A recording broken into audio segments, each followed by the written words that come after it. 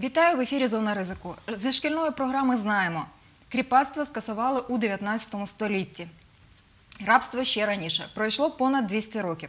Та сьогодні в індустрії, що має назву торгівля людьми, людське життя вимірюється в умовних одиницях. Як не стати рабом сьогодні у передачі?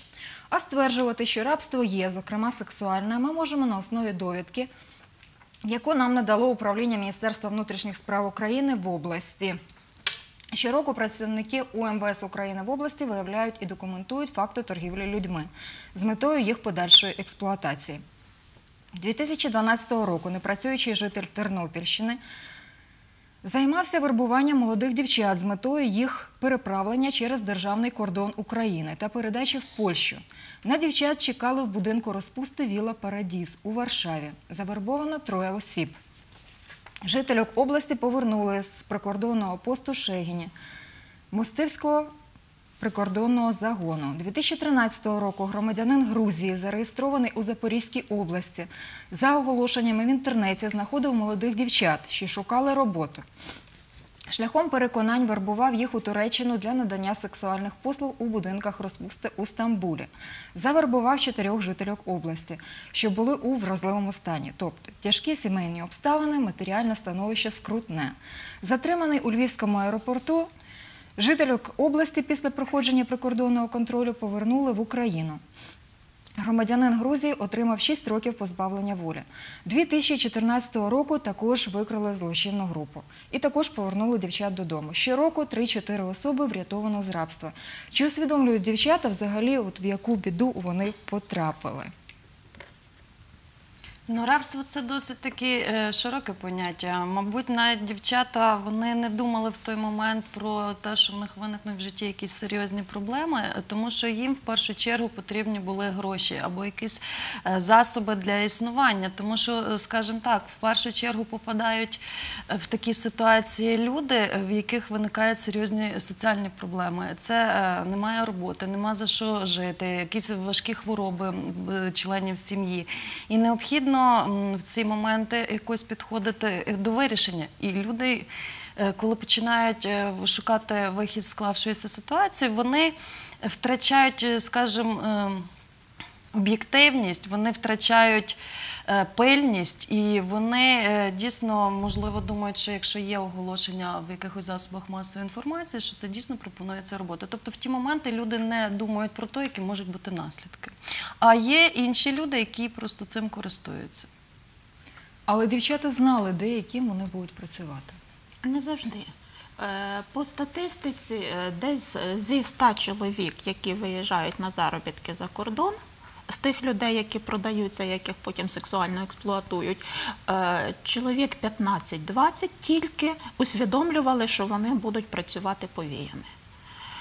Решту 80-80% все-таки думали, що вони будуть працювати гувернантками, посудомийками, офіціантками, тобто е, нянями в сім'ї, тобто будь-яка е, пристойна робота, на яку вони погоджуються. І вже перетнувши кордон і стикнувшись з тими людьми, які їх приймають, вони розуміли, що їх обмежують в свободі, що від них забирають паспорт, що від них вже нічого не залежить. І про це ми так багато говорили в кінці 90-х, на початку 2000-х. Потім замовчали. Здавалося, попереджений, значить озброєний. Жертв стало менше, чи ми просто до цього звикли? Е, Менше жертв не стало, оскільки е, згідно статистики, е, яка за оцінками ООН, торгівля людьми є третім в світі по прибутковості бізнесом після торгівлі зброєю і торгівлі наркотиками. Тому е, жертв менше, на, на жаль, не стає. Е, Згідно цієї ж статистики е, ООН, близько 2,5 осіб із 127 різних країн є об'єктами торгівлі людьми в ці- у цілому світі. Тобто це дуже прибутковий бізнес.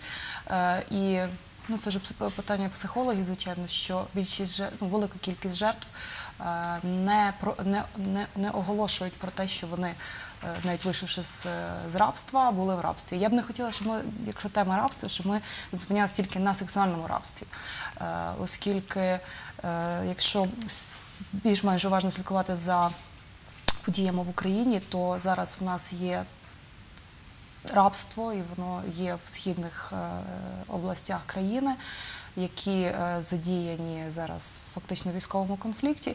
І вже є дуже багато е, відгуків самих е, і самих потерпілих, і є, скажімо, відгуки свідків про те, що там процвітає. І сексуальне рабство зараз, і процвітає трудове рабство. Причому це є зовсім інша категорія людей, яких, яких е, захоплюють з цією Це заручники, так Е, звані. Це фактично навіть не є заручники. Е, В заручники те, що те, що ми чуємо, те, що звучить е, так в, в медіа, е, це е, люди, які по політичних поглядах затримані, які військовополонені, які є активними, займають українську активну проукраїнську позицію і в зв'язку з цим захоплені. Є маса випадків, і це переважна більшість випадків, коли захоплюють людей просто на вулицях, просто для того, щоб ну, вони там набрали пісок в мішки для блокпостів, е, здійснювали іншу чорнову роботу. Е, Я буквально сьогодні зранку, додатково готуючись е, до передачі, знайшла статтю дводенної давності про те, як мама однієї з дівчат, які пропали, змогла з нею зв'язатися телефоном і сказала, що близько 40 дівчат тільки в тому місці, де вона є, е, знаходяться фактично в сексуальному рабстві. Їх використовують, як вона повідомила, для, е, те, для того, щоб бойовики розслаблялися після е, зіткнень.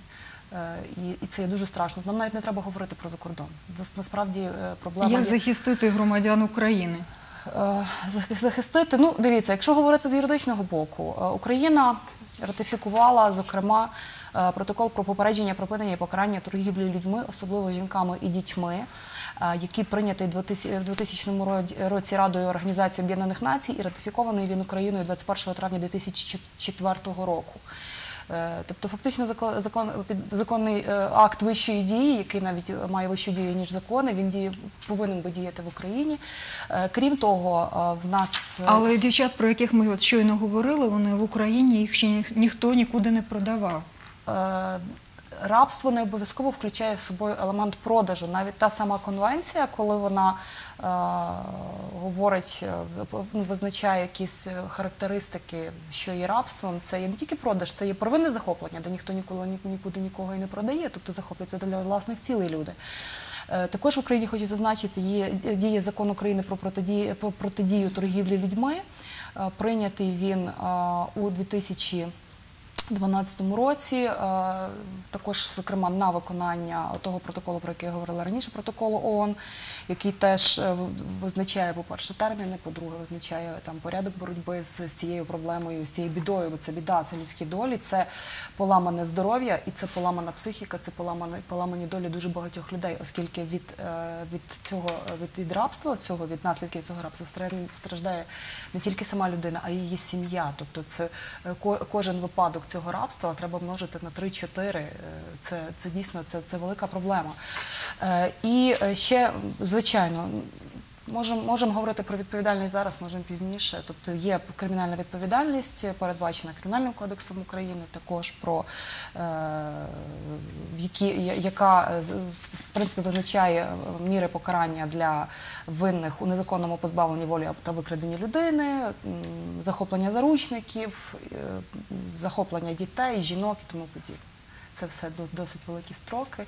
І то кримінальних справ, принаймні зараз про захоплення людей, про викрадення їх порушується дуже багато і дуже багато ведеться розслідувань.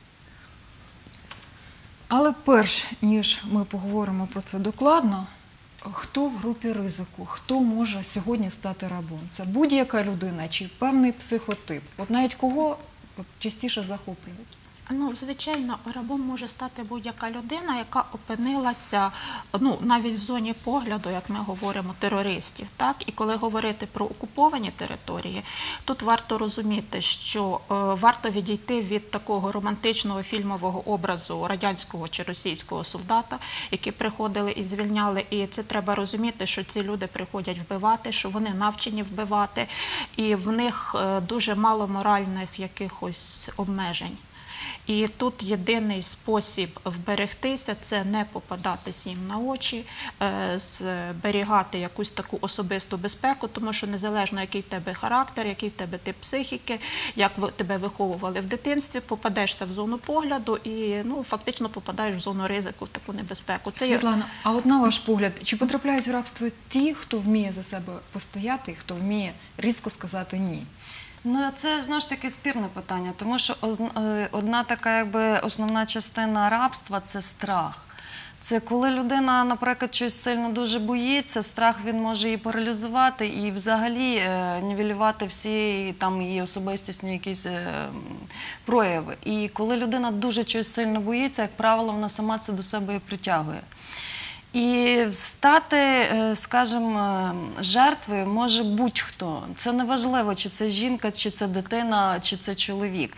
Головне просто в цій ситуації не злякатися і намагатись просто себе відстоювати і дати відсіч. Хоча, наприклад, е, ну як казати, якщо на вулиці йде жінка з дитиною, до неї там під'їдуть чи підійдуть декілька чоловік, то в принципі що вона може робити? Ну вона може хоча б кричати чи якось спробувати привернути Чинити увагу. опір можна, Так, а але- можна тихо сісти в машину. Можна, але знову ж таки, подивіться, на зараз, е, скажімо, це наша така якби психологія е, от, рабства, це є в кожній людині, тому що, можливо, воно генетично успадковано. Тому що раніше, колись ви пам'ятаєте часи Радянського Союзу, табори, е, в нас в таборах раніше був майже, ну, якщо порахувати, то практично майже в кожній сім'ї були вороги народу, тобто було тотальне знищення людей. І це передається, оця психологія навіть того страху. Я ліпше промовчу, я ліпше піду, я не подивлюсь той бік, де щось коїться, розумієте? І тому навіть зараз можна в с- на вулицях навіть Тернополя спостерігати такі картини, що от просто людина лежить, чи погано людині, чи людина зайвого випала, це немає різниці. Людину обминають, навіть ніхто не підійде. І йде гарантія, що якщо буде якийсь чинитись акт насильства, тому що е, от і торгівля, і рабство, і це все є ознаками поведін... насильницької поведінки. Де от гарантія, якщо от навіть людина почне ем, кричати і до неї хтось підійде, може її обмануть. Це друге питання. Тому, можливо, треба про це зауважувати більше інформації, е, казати, що людина повинна робити в таких ситуаціях, як вона повинна себе вести. Е, Відповідно, що коли людина десь де, обов'язково чи то дитина, чи то доросла людина, мають її рідні, близькі люди, чи там друзі, знайомі знати, де вона ходить, куди вона пішла. Тому що деколи людина може піти з роботи, на другий день на роботу не вийти, і лише через деякий час на роботі може схаменути, що її немає. Тобто якась така е, в нас процвітає людська байдужість один до одного, і можливо це і дає поштовх того, що починається зараз оця хвиля насилля, торгівлі людьми. Любо, отже, що це? Це генетична спадковість, це данина ті ситуації, яка складається, чи можливо виховання? Ну, якщо виключити такі екстремальні речі, коли людей захоплюють як заложники, і тут ці люди е, з'являють, ну фактично є випадковими. А як говорити про якусь таку е, передумови е, цього рабства, я би виділила тут все-таки виховання в сім'ї. І це має дуже важливе значення, тому що в нас в українців є такий менталітет, і коли от, ну, перше побажання до дитини, це нам бажають бути чемним, слухатись батьків, бути послушними. І фактично, коли дитина е, не має своїх інтересів, коли вона звикла слухатись, вона, попадаючи в будь-яку навіть небезпечну ситуацію, вона не може відділити одне від одного, навіть досить дорослі люди. е, Вони е, в екстремальних ситуаціях включають ці захисні дитячі механізми. Потрібно слухатись. Е, Тому десь побажання таке батькам, все-таки, крім цієї слухняності, яка ну на певний період для Отже, дітей це є, не лише є доцільною. самозбереження. Е, Так, тобто е, вчити відрізняти дітей, не формувати в них уявлення про світ як щось таке фіалково-веселкове. Е, Тобто дитина має знати, що є добро, є зло. Є люди, які е, доброзичливо ставляться до неї, є люди небезпечні. Як відрізнити одну людину від іншої? Як постояти за себе? І навіть оці прояви там в кризи в три роки, коли дитина стає нечемною, їх потрібно підтримувати, вчити формувати дитину, відрізняти свої інтереси від інтересів оточуючих, вчити відстоювати свою думку. Тут оцей інтроект, що дорослий завжди правий, він абсолютно не працює. Тобто потрібно е, ставати на сторону дитини і розбиратись в реальній ситуації. Правий цей дорослий, неправий, вчити дитину відстоювати свою думку, якщо на неї там нападають старші школярі, досить часто таке в школі буває.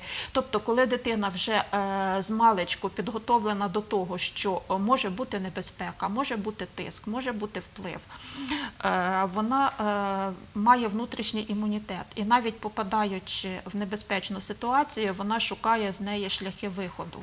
Я тут е, трошки не погоджу, що треба кричати, опиратись з самого початку, тому що по статистиці люди, які проявляють активний е, такий спротив, ну зазвичай їх або вбивають е, демонстративно, щоб інші покорилися, або тяжко калічать. Тобто варто приймати правила гри, показувати, що ти їх приймаєш, і шукати вже Отже, які- врятувати життя може хитрість. Е, так, е, показати, що так, згідна, так, ну, коли немає іншого виходу, і коли ну, не питають твоєї волі. Е, і вже потім шукати якісь шляхи, шукати людей, які е, підтримують, шукати навіть серед тих бойовиків чи торгівців людьми, які е, є людиною, яка може десь доброзичливіше ставитись. Можливо, потім з'явиться якась можливість знайти телефон, чи якась така, коли е, ну, можливість до втечі, коли люди будуть знаходитись там або в Отже, п'яному стані, або в роз... відповідь, щоб зберегти життя, треба сісти в машину, так? Якщо нас викрадають. Е, оцінити реальну ситуацію. Коли є люди, які можуть допомогти, звичайно, можна опиратись. Але коли ви бачите, тому що досить часто буває так, що навіть от ці люди з Донецька, які вже звільнені з полону, вони розказували, що кругом були інші люди, і вони дуже підтримували і кричали так, так їм правосекам.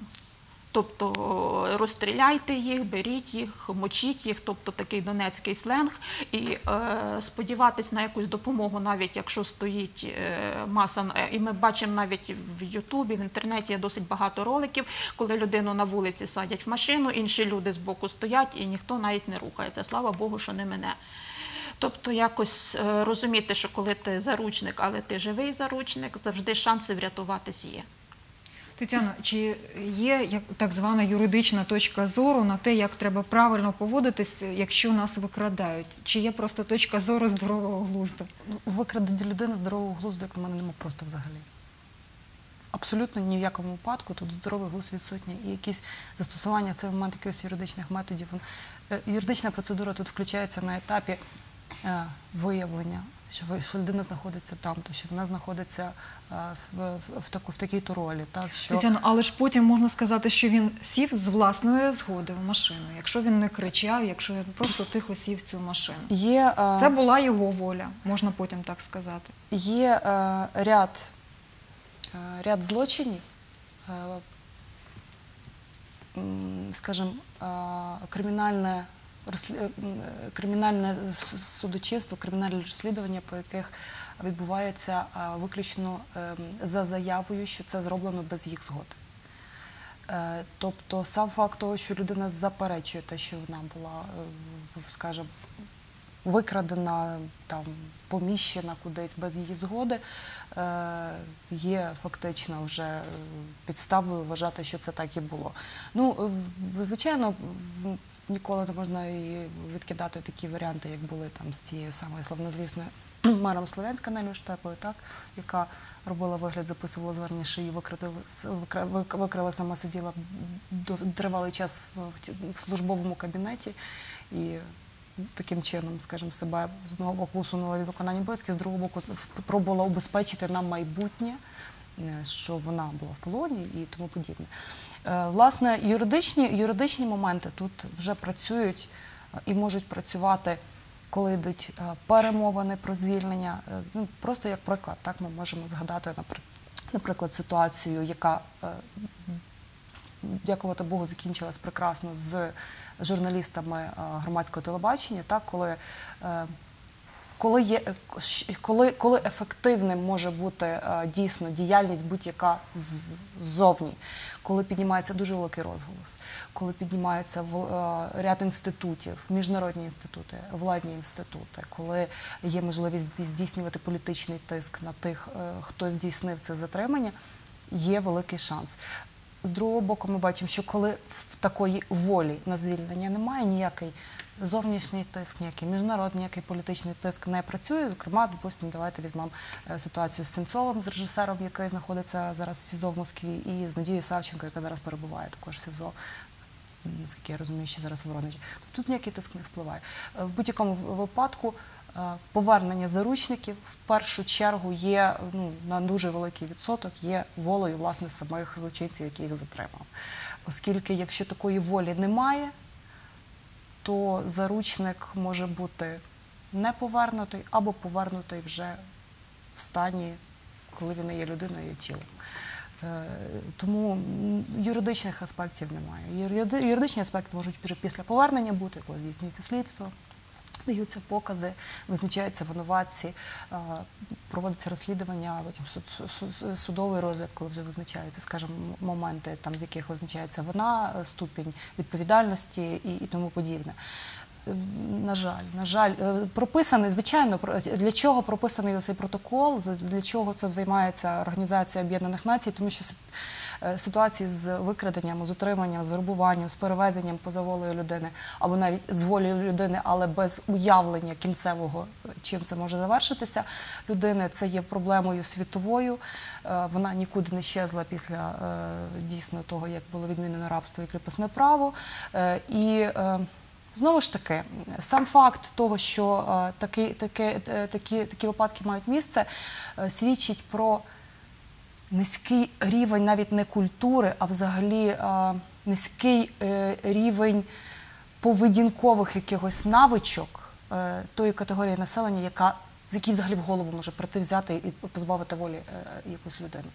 Власне, а от психопортрет от такої людини. Що це за людина? Вона сама ставала жертвою насильства. От які в цієї людини можуть бути ну, певні вади, тому що ми розуміємо, що це нездорова людина, так? І що це могло спричинити? Ну. Як правило, е, тут знову ж таки немає нічого такого чітко окресленого. Тому що, по-перше, е, чим е, ну якби на що опирається ця людина, для чого їй потрібні люди? Е, Відповідно, що якщо вже казати про те, що людина просто для власного задоволення таким займається, це просто може людина з якоюсь хворобою серйозною, з порушеннями психіки, яка просто якби сама собі хоче щось довести, чи якісь там задоволення якихось своїх фантазій, чи якихось своїх збочень. Це одне. Але можна звернутися до психолога. Е, ну, Якщо він психі- бачить, що його забаганки не виконує одна людина, друга, третя, вони не хочуть з ним це бавитись, значить з ним щось не так. Не правда? Це логіка пс- психічно здорової людини. Так. Психічно хворі люди зазвичай не усвідомлюють своїх проблем і комплексів, і це є якісь такі механізми е, їхньої реалізації їхньої хвороби. Тобто, коли от, е, взяти утримання в заручниках, сексуальну експлуатацію людей, е, коли от, ну, такі доведені випадки, досить часто цим людям е, ставлять серйозні психіатричні діагнози. Хоча є е, випадки, коли ці діагнози не підтверджуються або не ставляться, коли це роблять психічно здорові люди. Якщо взяти е, от, те, що зараз відбувається, ну це воїни. е, В яких є якийсь певний наказ, і які е, десь е, в цій е, ситуації е, позбавлені будь-яких там моральних обмежень, совісті, тобто в них на перший вигляд, на перший виходить інша мотивація. Ну, я ще хочу тут зауважити, тому що, ну, наприклад, як е, межі між нормою і патологією нема чітко встановленої. Але якщо взяти наших військових, це вже люди, в яких е, ну, є певні порушення, тому що нормально психічно здорова людина там буде вбивати і на то все кожен день дивитись, просто вона не зможе. Навіть якщо людина дуже і здорова була, то через певні, певний час і е, через е, те, що ця людина побачить, це ж все емоції, враження. Якщо вона навіть не буде проявляти їх зразу, воно все рівно їй просто так не зникне. Подивіться, що зараз є дуже серйозна проблема.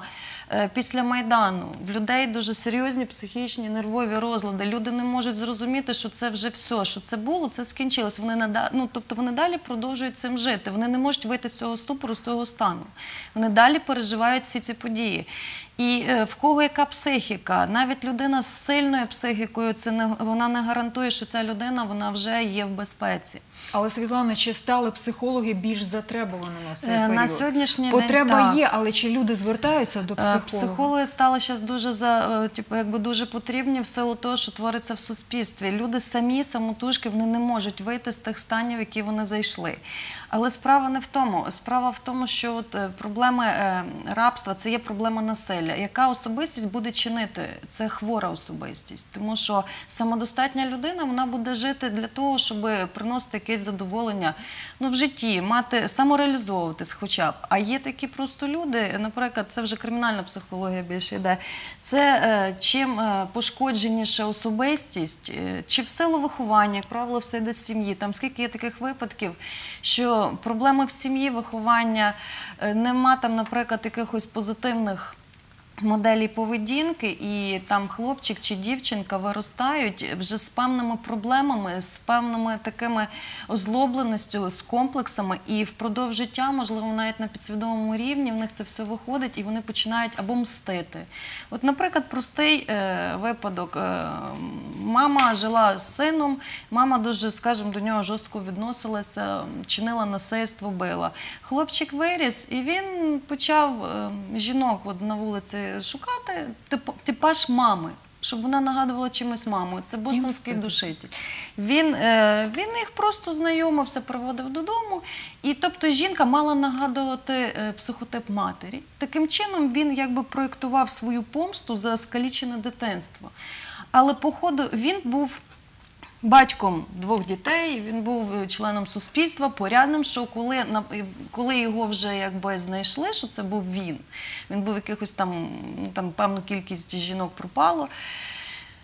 Ніхто навіть не міг повірити, що така людина позитивна, з такою, скажімо, характеристикою з місця роботи, що він сім'янин, він батько, і він е, от така, е, якби м, чинив от такі дії над іншими людьми. І таких, на жаль, людей дуже багато, тому що ми живемо в е, у нас не тільки двойні стандартне, е, скажімо, у нас присутня це така амбівалентність. Тобто добре, погано, але якщо потрібно, це погане може стати добре, а добре поганим. У нас, е, нас наша якась така людська свідомість, наше сприйняття, ми пристосовуємося. І ми деколи закриваємо очі на то, на що не можна закривати очі.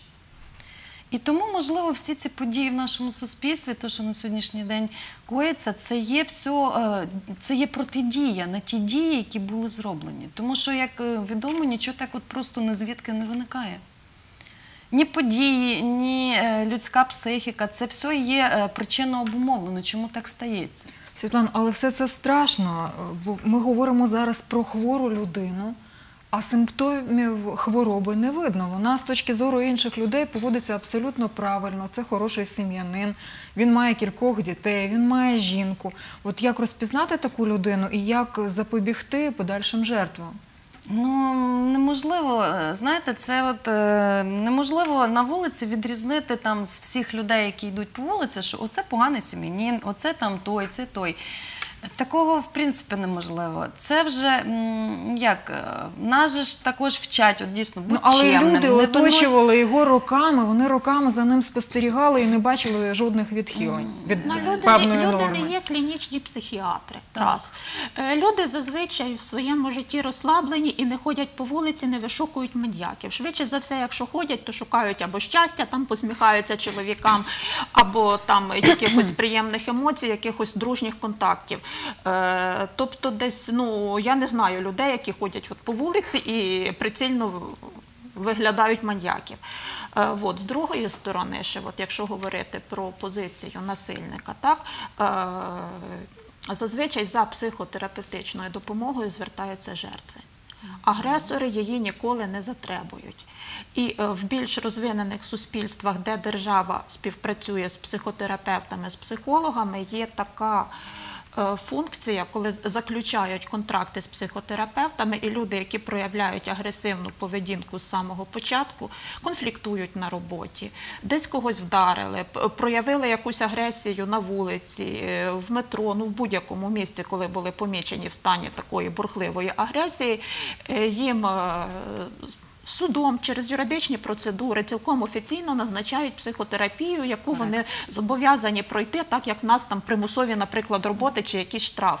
І коли людина проходить психотерапію, аналізує ці речі, які з нею трапляються, чому вона так реагує, чому вона так проявляє гнів, які в неї є образи з дитинства, е, проходить фактично оці години психотерапії, є досить велика, ну це, це не є гарантія, це не є панацея, але досить велика ймовірність, що людина десь, е, ну якщо не позбавиться того, то навчиться регулювати свої агресивні прояви і буде більш адаптована в Це примусова терапія, так звана, так коли ну, звернулася або жертва. А скільки жертв в нас, якщо ми говоримо про е, сімейне насильство, скільки жертв не звертаються?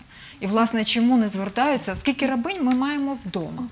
Е, Поясню, в нашому менталітеті досить часто звучить така фраза, що жертва завжди винна. І зазвичай, е, коли жінка зазнає чи сексуального насильства, чи якоїсь е, примусових якихось дій, її звинувачує суспільство. Досить багато є приказок таких зазвичай агресивних. Е, І е, досить багато людей підтримують оці насильницькі дії. Сама винна, сама спровокувала, не так посміхнулась, не так вдягнулась, не в те місце прийшла. Тобто виправдовують і звинувачують жертву. І зазвичай е, жінка, яка зазнала цього насильства, не хоче розголосу, не хоче ще більш е, позору, більш агресивної поведінки зі сторони сусідів, родичів, близьких, не хоче завдавати знову ж таки позору батькам, дітям. І фактично таким І чином заводить себе в глухий кут, Е, і своїх таким дітей чином також. захищається. І тут можна сказати, що якщо є люди, які цього зазнають, ну розголос і ну, хоча б звернення за допомогою, є такий реальний шанс оці дії припинити. Це коли ми говоримо про е, неодноразовий акт. Коли ми говоримо про там затримання на вулицях або якісь такі речі, це неможливо дійсно абсолютно жодним чином, е, скажімо, попередити, якось спрогнозувати, тому що ну є звичайно там е, якісь там абсолютно такі е, зрозумілі там заходи е, самозбереження. Тобто, ну, якщо ти живеш в Луганську і на твоїй вулиці стріляють, напевно, не варто виходити з дому, правильно? Е, Або, ну я не знаю, ти, ти молода дівчина і е, ніч, і ти йдеш е, з гарними, е, з гарними зовнішніми даними через незнайомий тобі чи навіть знайомий тобі район, але ти йдеш сама. Так? Зона ризику, так, є зона ризику. Тобто, якщо принаймні обдумувати такі моменти, тобто просто дещо подумати перед тим, як щось зробити, можна набагато, ну скажімо, обезпечити себе від якихось е, негативних наслідків. Але е, в жодному випадку, звичайно, е, звинувачувати в 100% жертву її, це неможливо, тому що принаймні от зараз ми є фактично хай не свідками ос- особисто, але ми бачимо зараз дуже багато прикладів, коли е, немає абсолютно ніадекватної поведінки з боку е, агресивних людей, агресивно настроєних, тобто вона обумовлена не, пси- психічними чи психологічними розладами, вона обумовлена е, політичними поглядами, відсутністю, браком повної інформації, тобто коли заливається вуха конкретно, чітко. Е, націлена інформація, яка власне розрахована таким чином, що вона буде зачіпати саме самі такі рецептори в мозку, які будуть впливати саме на агресивність, саме на відсутність емпатії, відсутність взагалі е, співчуття до просто тому, що це інша людина. Ну, навіть будь-якого контакту з реальністю. Тобто людина реальності не бачить, а бачить ту картинку, яка Спотворену спотворену реальність. Так. Ну, власне, власне, оця от агресивність, це, це що? Це, від, це відсутність, зумовлена тим чи іншим чином, відсутність співчуття до, до, до того, кого ти ображаєш, і до жертви. Елементарно, тут ну, якби, е, і зараз ми бачимо, ми бачимо зараз, чи, з чим вона зумовлена. Тобто, коли вона зумовлена психічними розладами, це одиничні випадки, це в мирний час.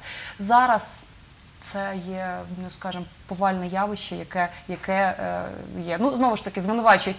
Е, чому, чому тоді ці люди не виїжджають? Не всі можуть виїхати.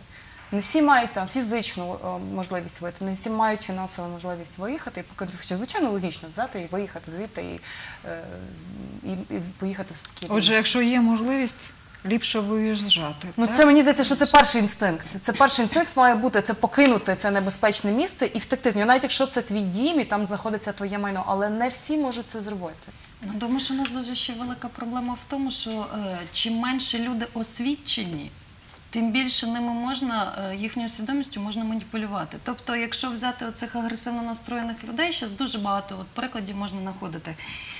Люба інформація неправдива, тобто в людей нема здатності Аналізувати щось, аналізувати. Ну як можна взяти Якщо в агресора Так. потворена свідомість, можливо, в жертви вона ще більш спотворена. Ну, а можливо, тоді, вони дійсно якщо не можуть агресор- реально оцінити небезпеку. Якщо агресор просто людина, яка не може е, логічно, обмірковано, послідовно прийти до якогось висновку, і вся люба фраза, яку їй говорять, сприймається за чисту монету, то все для нього вже це вже все вороги. Якщо не так сказав, не так подумав, не на то подивився, це вже є все люди, це вже чужі люди, які є ворожі, вони і по-іншому думають.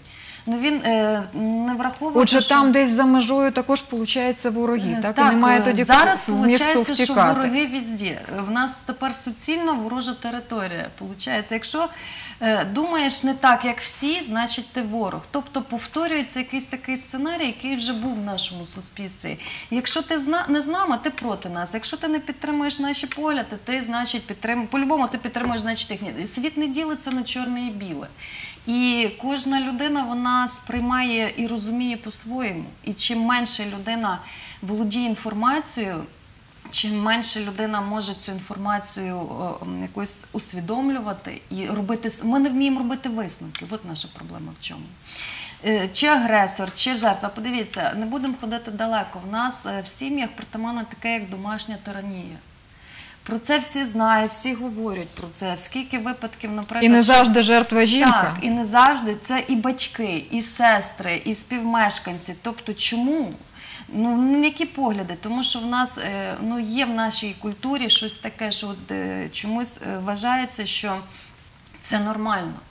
Чомусь ці люди, е, насилля ж воно не завжди, що там побили, зґвалтували. Ні, насилля може бути психічний, психологічний тиск, постійно якесь приниження людини. Тобто е, ознаки перші цього, скажімо, відношення е, людини, яка от тиран, про тирана, його можна дуже легко, якби спочатку перші там розмова там чи спілкування, його можна знайти по таких факторах, як ця людина вона зразу намагається оцю свою жертву навіть підсвідомо обмежити. Тобі не потрібні подруги, тобі не потрібні друзі, в тебе є я. Все, це от, от така основна починається ознака. Потім починається особистий проти- втручання в особистий простір, е, телефон, контакти, для чого, навіщо. Потім починається обмеження свободи. Не ходи на роботу, сиди вдома. Тобі То, що власне, погано? що є рабство? Це обмеження свободи, чи це інколи буває полон якихось і власних Е, ілюзій? Рабство це дуже широке поняття. І можна про нього говорити дуже довго. Але це рабство, це в кожної людини є вла- власні почуття, відчуття свій простір, правильно, свої якісь межі, кордони. І коли інша людина намагається якимось чином порушити оці межі іншої людини і вплинути на її бачення світу, нав'язуючи інше, це вже є ознака насильницької поведінки і ознака обмеження. Рабство це є обмеження чомусь, правильно? Це е, людині забороняють жити звичним життям і їй нав'язують те, що на даний момент вона не хоче. Але е, для тої людини рабство буде прийматися як рабство, яка з цим не погоджується і не змиряється. Знову ж таки, нас Але вже не є. захопили на вулиці. Так. Нас поступово хочуть оточити. І забрати у нас простір, свободу. обмежують- І е, в будь-який в будь-який час можна все це призупинити або повернути позиції. Так? Тут вже таке обмеження в часі, так, Люба? Ну, е, я не розумію зараз, про що саме конкретно йдеться, так? Нічого з рабства ми говоримо про домашнє насильство. Це е, трошки Тобто, якщо взяти позицію будь-якої людини, е, рабство починається, от як вже говорилося, з обмеження. Обмеження свободи, обмеження території. Друга складова рабства використання людини в власних цілях. Або е, в цілях е, прибутку, або в цілях якогось емоційної зверхності. Тобто тут, тут же можна говорити про будь-що. І е, варто розуміти, що мож, не обов'язково перетинати кордон, не обов'язково, щоб тебе продавали. Ти в рабстві можеш опинитися, навіть вийшовши законно заміж, взявши шлюб в церкві. І коли ви відчуваєте, що ви в сім'ї робите не те, що ви що вам подобається, коли вас е, заставляють щось робити, раз. А друге, ви за це не отримуєте якоїсь е, потрібної вам винагороди матеріальної чи емоційної. Ну, наприклад, коли там жінці замість того, щоб сказали, ой, який смачний борщ, кажуть, а чого борщ, я хочу суп з фрикадельками, а що ти цілий день робила? Тобто починається така тиранія використання. Е, І коли жінка розуміє, що десь їй це не подобається, що вона хоче робити інше, або робити це, але відчувати вдячність. Е, то це вже є якась така е, схильність до рабства, і ну навряд чи чоловік дружину до шлюбу тягне насильно і під дулом автомата, але це є якісь такі е, моральні обмеження, як в жінки, так і в чоловіка. Любо, але ж таке ж, от в мене зразу проекція на роботу. Те ж саме може відбуватися і на роботі. Прийшов вільно найманий робітник, працює, не отримає бажаного, хоче більшу зарплату. Десь його в чомусь обмежують. Роботи все більше і більше, а платять так само. Тут треба профспілки. Це- Тут зовсім це інше рабство. Е, Основні складові рабської психології це, по-перше, занижена самооцінка. Е, Людина не впевнена, що вона варта більшого. Фінансова залежність. Е, е, Це є занижений рівень домагань. Вона не претендує на більше. Її дуже легко можна, навіть якщо ти головний інженер, але з таким рабським комплексом, так, з заниженою самооцінкою, можна заставити бігати, носити каву, булочки купувати. Тобто цілком людину можна там десь використовувати не в тій ролі, на яку вона наймалась на роботу. І третя складова це та, про яку я говорила, це схильність до покори, схильність до послугу, невміння виражати свій протест, невміння відстоювати свою е, територію. Тобто будь-який. Яка людина, яка попадає, е, ну знову ж таки виключимо екстремальні ситуації, візьмемо побутові ситуації. Будь-яка людина, яка попадає в таку залежність від інших людей, має ці три, три складові однозначно. І тому, щоб не попадати, ну звичайно, ми можемо чекати, поки нас захистять профспілки. Але тут а от власне, Тетяно, де є захистити. порушення умов праці, а де вже є трудове рабство? Де межа? Боже, ми вже з від рабства відійшли аж до, до, до профспілок. Добре. Е, порушення мов праці. Е, передбачено, що е, коли людина приймається на роботу, в кожної людини повинна бути посадова інструкція. Тобто в посадовій інструкції, повинні, якої вона повинна бути знайомлена під, під, під підпис. Тобто людина фактично підписує, е, погоджується на те, що вона готова виконувати ті функції, які передбачені посадовою інструкцією. Звичайно, що є велика кількість випадків, коли е, посадова інструкція не підписується, е, бо ж людина приймається не на посаду, яка там, допустимо, посада менеджера, так, чи посада бухгалтера. Тобто, в принципі, там якісь такі загальновідомі функції, в які, зрештою, все рівно не входить там купівля шефу булочок чи там миття вікон в офісі, е, тому, що, тому що треба корпоративний дух з'єднувати, хоча є прибиральниці, і такі випадки були. От е, я хотіла би повернутися з вашого дозволу. Все таки питання рабства, питання більш глобальне. І я е, тут шукалося, що ж таке, що ж це, що ж це є. От власне протоколом ось цим, е, Ради ООН про, е, про торгівлю людьми визначено конкретно є визначення, які дії, е, що, що таке торгівля людьми. Це вербування, перевезення, передача, приховування або утримування людей шляхом загрози або застосування сили, або інших форм примусу, викрадення, шахрайства, обману, зловживання владою або уразливістю положення. Це власне це психологічний момент, або за рахунок надання або отримання платежів або прибутку для одержання згоди особи, яка має контроль над іншою особою з метою експлуатації. Така експлуатація включає як мінімум експлуатацію інших осіб шляхом проституції або інших форм, форм сексуальної експлуатації, примусову працю або послуги, рабство або дії подібні до рабства, підневільний стан або вилучення органів. Е, Ми не говоримо, ми ще не говорили про, Про ді- чорну про трансплантологію. Ми не говорили про а, викрадення дітей, яких використовують з метою жебракування. Е, тобто, все це є рабство, це от є власне пряме таке чисте рабство.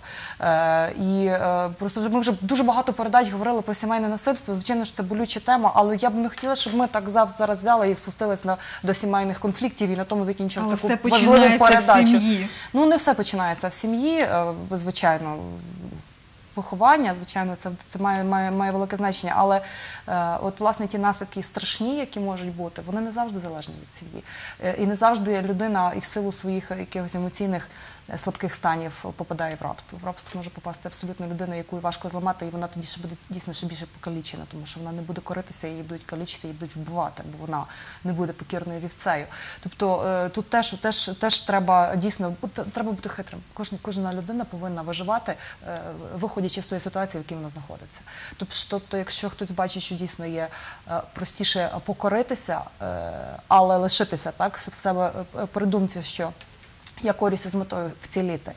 Е, А є, скажімо, є можливість зламатися і вже навіть просто коли ти відкриють двері і розтіли, е, там, відімкнуть тобі ланцюг, і ти з нього вже не підеш, тому що а зміст. Я вже тут стільки часу. Є дуже багато випадків і дуже багато передач було. Зокрема, я їх бачила, коли е, жінки там знаходились, допустимо, в рабстві багато років, і там знущання, знущалися над ними, і втатуйовували їм е, прямо на лобі цей господар їхній е, раб. Потім його там помирає, вони вже вільні, вони ходять до нього на цвинтар, вони носять йому квіти, вони до нього є прив'язані. Тобто це, це жах, але це правда. Тобто людська психологія вона дуже не, не, не. Тобто можна зламатись, можна не зламатись цьому рабстві. Можна перестати бути людиною, можна залишитися людиною і рано чи пізно вийти, хай покаліченим, але здоровим, здоровим свідомістю і, е, і щасливим тим, що от я вільний, і воля це найбільша моя, е, це найбільша моя чеснота, і це найбільша моя е, те, те, це найбільший подарунок, який я маю. І панове, я зараз жахом думаю про тих, от, хто приїжджає на Західну Україну зі Східної. У нас на Західній Україні безробіття. Ці люди будуть шукати роботу. Можливо, хтось опиниться в дуже складних обставинах. І, можливо, їх десь там за кордон завербують. От як, власне, Любо, не потрапити в рабство за кордон тим, хто опинився в скрутних обставинах? Ну, по-перше, включати здорову обережність раз. Е, Коли щось пропонують, перевіряти цю інформацію, не довіряти зразу першому слову і не хапатись за перший шанс. Е, Звертатись до е, або громадських організацій, або до державних інституцій, які займаються реабілітацією біженців, переселенців, е, жертв цієї війни. Тобто розглядати всі можливі варіанти. Тому що дійсно, коли людина попадає в скрутну ситуацію, якась критичність мислення знижується, людина хапається за перший шанс і досить часто не проясняє. Про- е, Це стосується не тільки біженців, не тільки переселенців. Пропонують будь-яку роботу, її треба перевірити. Є організації, які перевіряють, можливо, заключати контракт. Зараз, ну скажімо так, не А той самому перевірити неможливо. От що б нас мало би насторожити? Ну, е, наприклад, от якщо проаналізувати ті випадки, коли дівчат забирали в сексуальне рабство, як правило, їм пропонували е, роботу офіціантками, ну або в такому форматі, але за дуже велику зарплату. Це вже має бути насторожити, тому що навіть е, за кордоном офіціанти вони не стають там, скажімо, за півроку мільйонерами. І якщо пропонуються дуже великі статки і дуже шикарне розміщення, тобто ну дуже все дуже гарно, дуже добре, і якось воно вже ну якісь такі виникають думки, що щось тут не то. Не може такого бути, що і привезуть, і поселять, і там безплатно, і зарплата велика. І що, а виходить, як? Тож треба відпрацювати, там все також коштує грошей. І оце перше, що м, не потрібно вестись на те, що там пропонують золоті гори. І багато чого дають авансом. І квиток проплатять. Так, ну тобто, що І готові житло все наперед. проплатять, а потім ти вже повернеш. І в такий спосіб людину вже собі підкорюють, і вже вона винна гроші, Ну, і так. чималі гроші. І цей борг з кожним днем все зростає і зростає. А якщо людина ще вчасно не знайде роботу, якщо місце зайнято, Це ще те, що тут групи на... людей формують. Вони не вивозять якби по одній, а формують групи людей. Ну як в один е, заклад потрібно, скажімо, 5 офіціанток. Ну а що ж це тоді за заклад? І взагалі, якщо людина хоче шукати роботу за кордоном, зараз нас е, трошки легше з тим, що багато повиїжджало людей, які дійсно там легалізовано працюють. Можливо, якось е, шукати їхні контакти, зв'язуватися або просто просити, щоб вони підшукали роботи і не їхати на пусте нове місце, їхати до знайомих людей. І взагалі там, де вже знайомі люди, можливо, буде простіше. Хоча також е, є ризик, що можна Досить часто самі знайомі. Досить часто самі знайомі люди, ми не знаємо, де працює е, наша там однокласниця чи якась далека родичка. Вона може телефонувати, вона може мати зв'язок з рідними, але працювати зовсім не там, де говорять. Тобто, все-таки е, варто перепровіряти. Причому досить часто людина може не знати, як її Бог відвів і як вона врятувалась через свою таку обережність. Коли ви починаєте задавати прямі питання вербовщику, він зазвичай каже: ви нам не підходите. Тобто люди розумні, люди, які знають свої права, люди, які мають свого адвоката, чи кажуть, я перевірю цю організацію через е, якусь от там е, офіційну структуру чи громадську організацію, яка цим займається. Їм кажуть, вибачте, ми вже групу наймали, найняли, ви не підійшли, ми вам перетелефонуємо і не перетелефоновують. Тобто розуміють, що людина готова себе захищати. Тому що коли вам кажуть, а от вам телефон переговоріть з власником ресторану, він вам все розкаже. Це може бути власник ресторану, це може бути власник борделю. Коли ж вам дають чіткі координати, коли є інтернет-сторінка, коли ви з інтернет-сторінки дзвоните і проясняєте, говорите, бачите відгуки людей, то, е, плюс там офіційна реєстрація, якісь ліцензії на працевлаштування. Е, е, досить часто може таке бути, що треба і 5, і 50 офіціанток в одне місце, коли відкривається новий заклад. Це, це не показник. Тобто показник, наскільки це легальна установа, наскільки люди готові відкриватись, наскільки готові показувати документи, готові до, до співпраці з відповідними органами.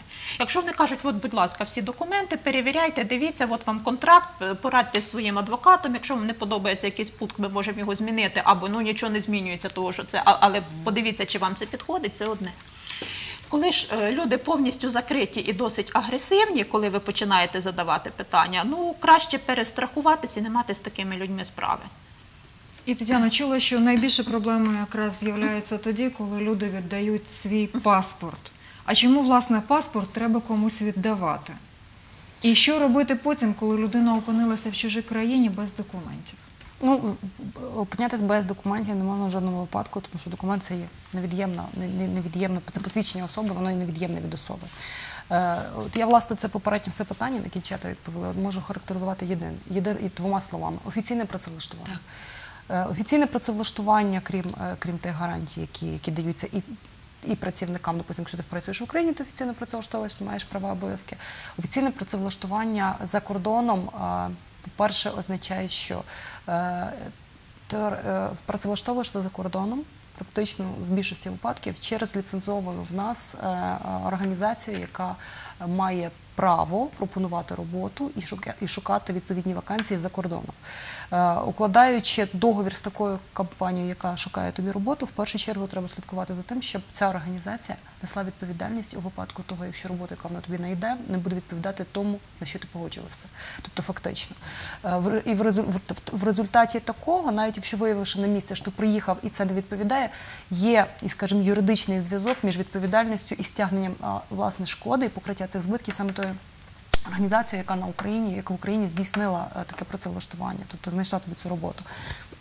Тому е, чим більше паперів зібрано, чим більше документів необхідно зібрати для працевлаштування на роботу, чим більше документів залишається на руках, тобто чим, чим більший, скажімо, розголос е, того, куди ти їдеш, тим, тим краще. Тетяна, чи треба ще документи залишати в Україні рідним?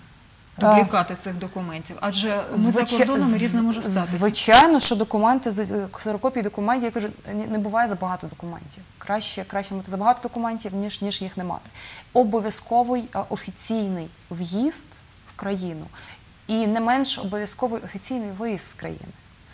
Треба також це пам'ятати, тому що А власне, чому нелегали так бояться звертатися в поліцію? Найгірше, що може бути, це депортація. Е, ну, н- Але він буде живий, здоровий. не, вс, не для всіх слово депортація. От для нас слово депортація, ну, депор, це, для нас це слово. Для людей, які заробляють е, тим, що вони працюють за кордоном, слово депортація це найжахливіше слово, яке може бути, тому що вони не мають можливості виїхати. з- Назад це страшне слово, тобто деп- депортація, е, штамп про, про депортацію, де ставиться на велику кількість років. І, е, і це, якщо людина пропрацювала нелегалом хай три роки, вона вже там набула якихось контактів, е, їй вже не, не, і не, не, немає дійсно необхідності там е, звертатися до посередників, бо вона вже сама знає, де можна знайти роботу, яким чином. Тобто це вже А можливо, з часом легалізувати. Так, для неї депортація це страшно. І тому дуже багато. А через що важливий не тільки в'їзд офіційний, а й виїзд з країни. В'їхавши в країну для. М, оф- Офіційно, скажімо, е, в шенгенську зону, допустим, так е, ти є офіційно присутнім в цій країні. Ти офіційно маєш права людини, яка офіційно перебуває на території. Якщо ти знаходишся по робочій візі, ти ще офіційно працевлаштовуєшся, і відповідно ти маєш масу прав. Ти маєш навіть право звернутися в ту саму поліцію, як ви кажете. Ти маєш право звернутися в медичний заклад. Хай ти заплатиш там, е, ну якщо ти не маєш страховки, хоча якщо ти офіційно працевлаштований, то в офіційне працевлаштування за кордоном обов'язково входить і медична страховка. Тобто це ці всі нюанси. Ми вже про це говорили, але ну, давайте нагадаємо. Е, тобто, хай цей пошук роботи займе. Трошечки більше часу, але ти їдеш спокійно, ти їдеш як цивілізована людина, ти їдеш як кваліфікований працівник, ти їдеш на конкретну роботу, ти знаєш, чим ти будеш займатися, і в тебе не виникне ніяких, ніяких незручностей. Тому, е, знаєте, заробляти шалені гроші, дійсно Світлана права, заробляти шалені гроші треба дуже добре зрозуміти і усвідомити, чи дійсно можливо за таку роботу, яку тобі пропонують, отримувати такі гроші. Це ну, І пане, оскільки час нашої передачі завершується, пам'ятайте, що все ж таки найліпше це працювати офіційно і в Україні, і за її межами. Ми не раби, ми вільні люди. У нас є вибір, і головне не зробити невірний крок. Хай ризику у вашому житті буде якнайменше до зустрічі.